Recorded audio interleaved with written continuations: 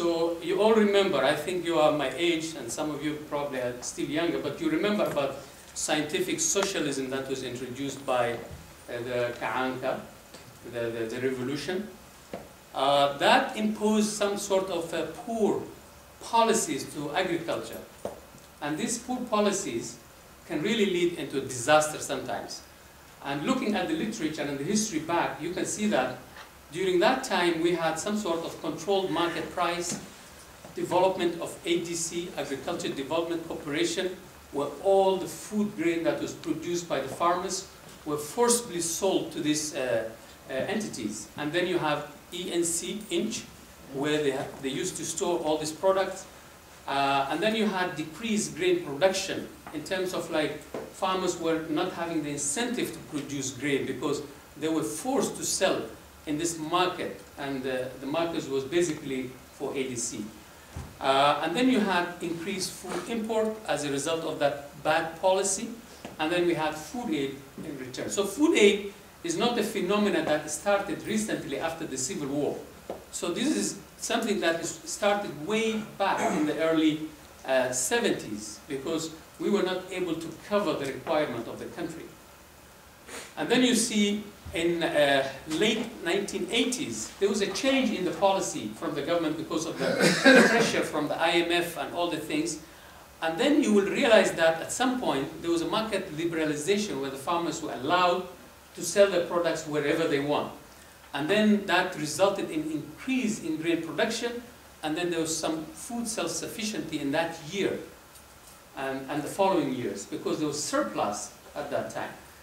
Uh, and then the Civil War started, and as a result of this, you will see that emergency uh, at this time, where from 1990 to 2010, so you have, we have under emergency situation where NGOs are dominating. Uh, decrease in food production, again, food aid came back again into the, into the country. So this tells you that Somalia can become food self-sufficient if there are proper policies, if there are proper uh, work done in the country.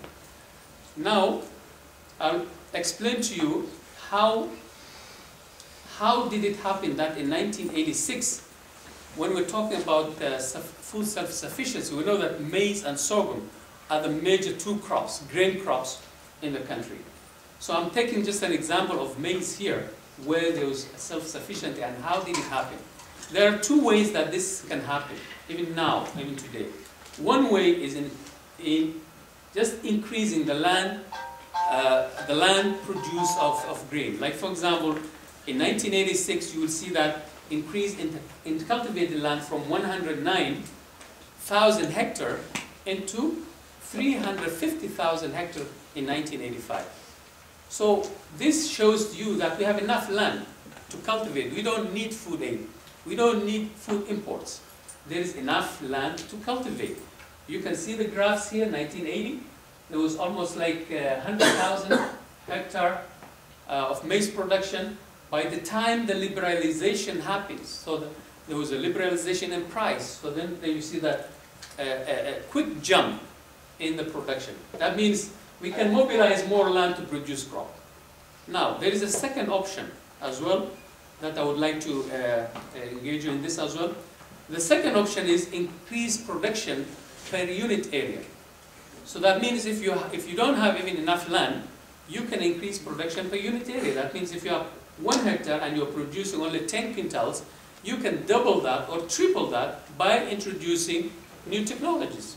And if you can see here, I just want to, to prove to you here that uh, unfortunately Somalia from 1940 to today, this is the production level that you see there.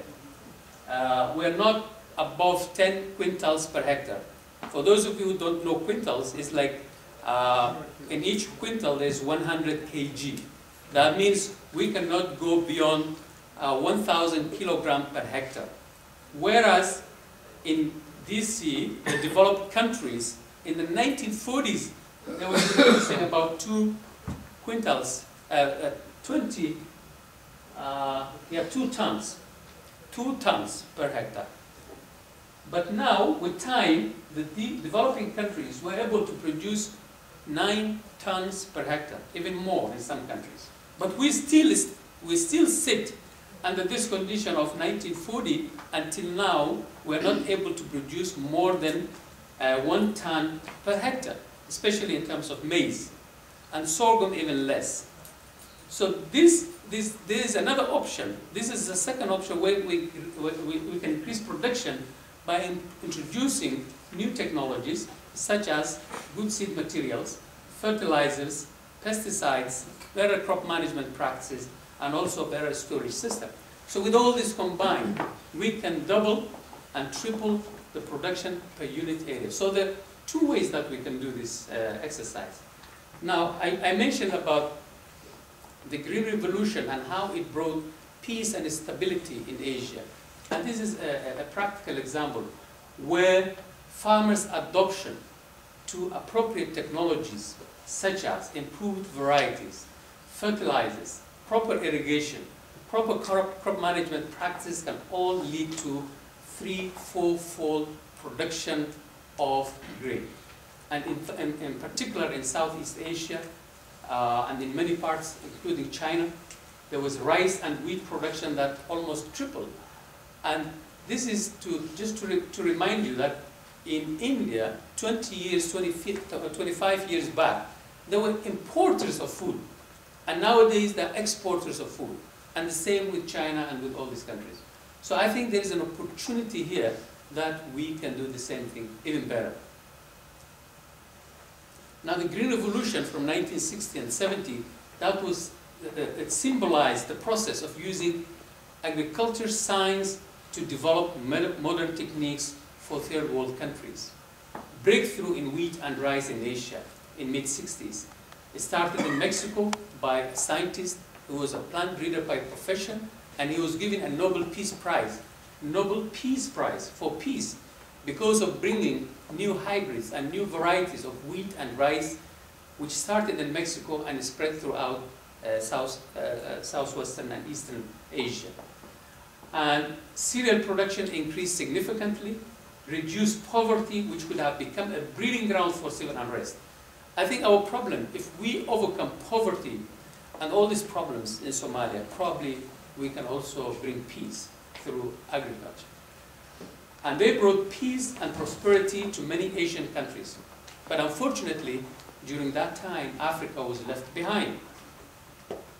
But now, there is a new movement coming up in Africa. It's called African Green Revolution. And there was a conference that has taken place in 2008 in Oslo and raised some hope in the future of bring, to bring peace and prosperity through sustainable agriculture development. So though some say during this time when Africa Green Revolution started, let us pull together and change Africa. Africa doesn't want charity. Success story started in Malawi. Probably some of you have heard about the story in Malawi, uh, where at least Malawi, just five, ten years back, was a hunger country. But now it's a free hunger country, Malawi, because of this technology adoption. And Alliance for Green Revolution in Africa, this is one of these uh, things that I have discussed. But unfortunately, again, Somalia was left behind from this Green Revolution in Africa. And the reason is because there's no peace, there's no stability. And this African Green Revolution is funded by Gates and Melinda Foundation. It's going, spreading throughout Africa, and there's the production increase in many African countries. But who is there for Somalia? Who wants to go into Somalia and do some work? I think it's us. Not, we don't have to depend on other people now. I think it's us who have to do some work on this. Um, I just want to move into this to, uh, to give you a bit of flavor on such activities, what we as SATG, Somali Agriculture Technical Group, do in, this, uh, in Somalia. Uh, we do a lot of work, which includes field trials. In fact, this is, uh, if you see here, this is a mung bean variety uh, called Filsan. If you see our book, we have SATG and Filsan. Filsan is a mung bean variety that was, uh, in fact, was a success story in late, 86, in late 1986 and it was developed in the Bay region uh, research center. So what happened is that soon after the war, the seed was lost and everything was lost. So SATG was able to bring back the seed from its uh, original source and increase the seed in North America as well as in Nairobi and send it back to Somalia. And now uh, Filsan is one of the success stories that we have uh, introduced back this variety into its original habitat. So, uh, if I may interrupt, uh, can- can you explain to us what kind of seed it is? What kind of grain is it? oh, this is a mung bean, uh, or called green Beans? Gram. Is it beans or? Beans, yeah. Oh, okay. Yeah, it's a green gram, it's a source of protein. Okay. So it's an early uh, maturing variety. From the time that you plant to time that you harvest, just takes 50 days. So we are trying to introduce Filsan into whole Somalia, even though it was bred and developed in, in, the, in the dryland agriculture in the Bay region. But we see that there's a lot of interest now that we went back to Somalia, doing some activities on research in uh, different varieties of maize and everything. So now we see that there's a lot of interest and we're sending the seed back and developing also a seed multiplication system right on the ground in, uh, in Somalia. Yes?